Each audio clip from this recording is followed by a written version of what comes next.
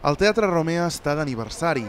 Al llarg dels 150 anys d'existència, el seu escenari ha acollit les estrenes d'obres de grans autors de cada època, com Serafí Pitarra i Josep Maria de Sagarra. Enric Borràs, Margarita Xirgo i Joan Capri són alguns dels molts noms propis vinculats al Romea, un teatre molt arrelat a la ciutat que sempre s'ha caracteritzat per preservar l'escena en català.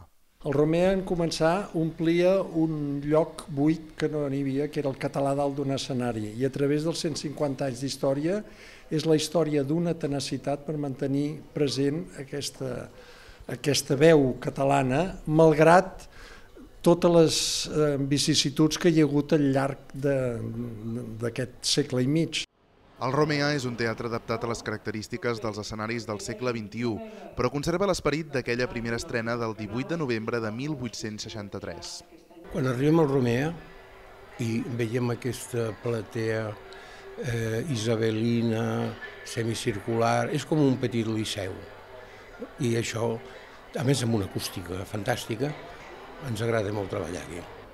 La Fundació Romea ha preparat un documental que repassa els 150 anys de la institució.